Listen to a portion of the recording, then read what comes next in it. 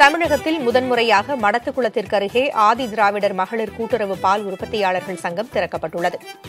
திருப்பூர் மாவட்டம் மடத்துக்குளத்திற்கு அருகே கொமரலிங்கம் பேரூராட்சியில் இச்சங்கத்தை அமைச்சர்கள் கயல்விழி சாமிநாதன் மற்றும் நாடாளுமன்ற உறுப்பினர் சண்முகசுந்தரம் ஆகியோர் இணைந்து திறந்து வைத்தனர்.